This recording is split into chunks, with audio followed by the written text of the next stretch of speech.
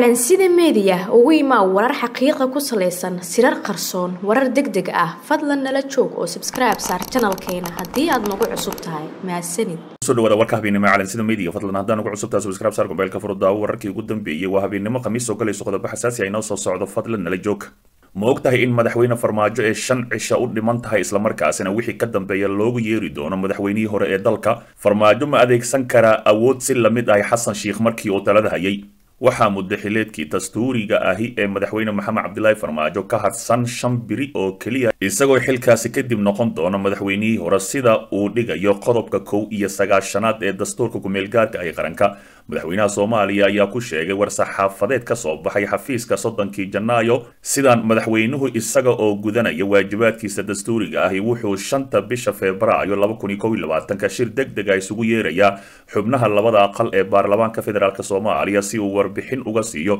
xaalada guud ee dalka iyo gaar ahaan doorashooyinka dalka. Haddaba lama oga inuu hadal jeedintiisa ku ilaalin doono awooddiisa fulineed iyo kuwa xukuumadda in laga hadlo hakinta awoodaha madaxweynaha iyo guud ahaan laanta fulinta ee xilliga doorashooyinka ama kala guurka waxa ay timid kadib markii uu horay sidaan u sameeyey madaxweynihii ka horreeyey iyo cabsi laga qabay in madaxweyne farmaajo uu shaqada iska sii wato xataa febraayo sideeda kadib sida uu jago magacaabo dallacsiiyo heshiisyo galo ama arrimo kale. Madaxweynihii hore ee soomaaliya mudane xasan sheekh maxamuud markii ay shan maalin ka dhinnayd muddadiisa dastuuriga ahi oo ku beegneyd shantii sebtembar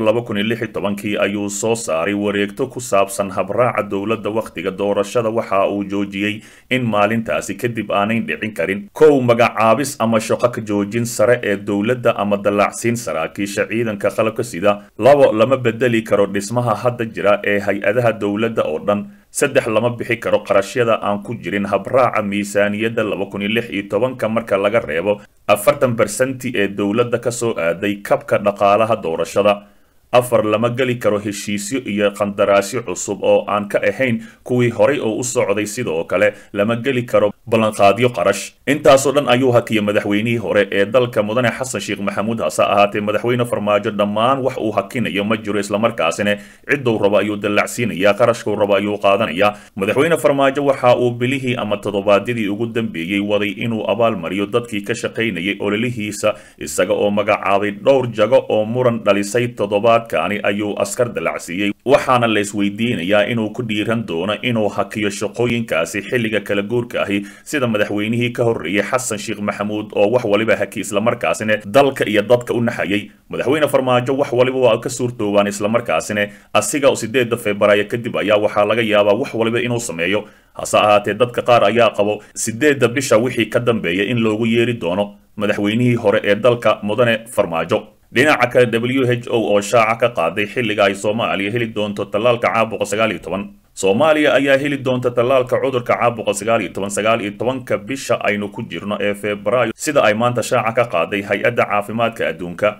Madaxa hay'adda caafimaadka adduunka ee soomaaliya dor maamunuur raxmaan maalik ayaa v o eda u sheegay in soomaaliya ay heli doonto hal dhibic laba milyan oo goojo oo ah tallaalka astraseneka ahi tallaalkaas ayaa isugu jira gacanta hore iyo gacanta labaad waxaana lagu tallaali doonaa lix boqol oo kun oo soomaali ah dor raxmaan maalig waxaa kale uu sheegay in bilaha maarso iyo abriil ay heli doonaan tallaal kale oo lagu tallaalo labaatan bersenti dadweynaha soomaaliyeed daawooyinka lagu tallaali doono labaatan bersenti dadka soomaalida ahi ayaa ah lacag la'aan waxaana bixinaya xarunta koofag oo ay wada dhisteen hay'adda caafimaadka adduunka w h o iyo isbahaysiga caalamka. Gafi xaruntaasi waxaa maalgeliyey midowda yurub hase yeeshee dowladda soomaaliya ayaa looga fadhiyaa inay hesho qarashkii ay ku soo iibsan lahaayeen tallaalka lagu tallaali lahaa siddeetan bersenti kale ee dadweynaha soomaaliya. Hay'adda w h o iyo unisef iyo bankiga adduunka ayaa la sheegay inay dowladda ka caawinaysa sidii qarashaadkaasi lagu heli lahaa. Tallaalka hal dhibic laba milyan ayaa lagu tallaali doonaa shaqaalaha caafimaadka kuwa dowladda hoose iyo kuwa safka hore waxayna ku filan tahay saddex bersenti dadweynaha waddanka ayaa la yidhi fadlan dib u daaw wararkeenii hore ee calansida meediya xog xasaasiya gudoomiyaha aqalka sare cabdi xaashi cabdulaahi oo gebi ahaanba qaadacay shirka ka socda magaalada dhuusamareeb islamarkaasina ku baaqa shirweyne ka dhan ah shirka ka socda dhuusamareeb asigoo shir jaraa'id ku qabtay asiga iyo xildhibaanada ka soo jeeda gobollada waqooyi. Siyaasiyiinta ka soo jeeda gobollada waqooyi somalilan ee uu hogaamiyey cabdi xaashi cabdulaahi ayaa shaaciyey in shirka dhuusamareeb afar uu yahay shir aan loo dhammayn kadib markii lagu casumi waayey gudoomiyaha aqalka sare. Shir jaraa'id oo ay ku qabteen siyaasiyiinta ka soo jeeda somalilan ayaa lagu sheegay in madaxweynaha galmudug uu gudoomiyaha aqalka sare u sheegay inaan lagu casumin shirka dhuusamareeb kana qaybgeli karin markii uu dalbaday inuu dhuusamareeb yimaado hase ahaatee madaxweyne farmaajo ayaa amar siiyey qoorqoor. Qoorqoorna waxa uu sheegay cabdi xaanshi inaanun imaan karin dhuusamareeb cabdi xaanshi oo shirka jaraa'id ka hadlay ayaa sheegay in madaxweyne farmaajo aanu aqoonsanayn aqalka sare markaasina aanun aqoonsanayn nidaamka federaalka ahi ee soomaaliya qaadatan dhibaatada jirtana ay tahay iyadoo madaxweynaha aanu fahamsanayn inay somalilan ka maqan tahay baaq ka soo baxay siyaasiyiinta xildhibaanada labada aqal iyo gudoomiyaha aqalka sare ee ka soo jeeda somalilan ayay ku baaqeen in la isugu yimaado shirweyne looga hadlo xaalada dalka mar haddii shirka dhuusamareeb aanan loo dhammayn islamarkaasina gebi ahaanba uu qaadacay si kastaba ha ahaatee hadalka ka soo yeeray cabdi xaashi lama oga madaxda federaalk soomaaliya ama kuwa maamul goboleedyada ee ku shirsan dhuusamareeb waxa ay ka yeeli doonaan maadaama xildhibaanada iyo gudoomiyaha aqalka sare ee ka soo jeeda somalilan gebi ahaanba ay qaadaceen shirka iminka ka furmay magaalada dhuusamareeb dhinaca kale shirkii dhuusamareeb oo gebi ahaanba furmay iyo villa soomaaliya oo war ka soo saartay shirkii maanta halkaasi ka furmay. Waxaa maanta bilowday shirkii oo ku baaqay madaxweyne farmaajo ee loogu talagalay in looga hadlo arrimaha ku saabsan doorashooyinka laguna xaliyo caqabadaha hortaagan sidii loo qaban lahaa doorasho la isla ogol yahay. Agaasimaha warfaafinta iyo xiriirka warbaahinta madaxtooyada cabdirashiid maxamed xaashi oo sheegay in shirka uu furmay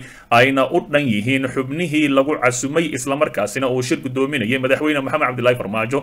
isagoo hadalkiisa sii wata wuxuu yidhi madaxweynaha iyo ra'iisul wasaaraha waxay tilmaameen muhiimadda ay soomaalida u leedahay in wakhtigani ay midnimo ku galaan doorashada qaranka. Madaxda ayaa isla gorfeeyey dadaalada heer federaal iyo heer dowlad goboleed ee loo qaaday hirgelinta hanaanka doorashooyinka xaqiijinta xasiloonida siyaasadda iyo amniga ee dalka. Wuxuu sheegay in shirkan uu ku saabsan yahay sidii loo hirgelin lahaa heshiisyadii lagu gaaray muqdisho toban iyo toddobadii sebteembar loona dardargelin lahaa sidii uu dalka doorasho loo dhan yahay u gali lahaa. Sidoo kale agaasimaha wuxuu sheegay in waxyaabaha laysku soo qaaday marka hore ay ka mid ahaayeen dhaqaalaha iyo arrimaha amniga oo muhiim u ah doorashada. Sidoo kale madaxda ay waxyaabaha kale ee muhiimka ahi ka wada hadli doonaan inkastoo uusan faahfaahin ka bixin haddana wuxuu sheegay in madaxweyne farmaajo uu kulamo wada tashi ah la yeeshay madaxdii joogtay dhuusamareeb inta aanay imaan axmed madoobe iyo siciidani. Si kastaba madaxtooyada waxay sheegtay in farmaajo ay ka go-an tahay heshiis lagu gaaro halkan. Walow dadka qaar ee siyaasadda ku jira aysan filaynin in madaxweynaha uu ka tanaasulayo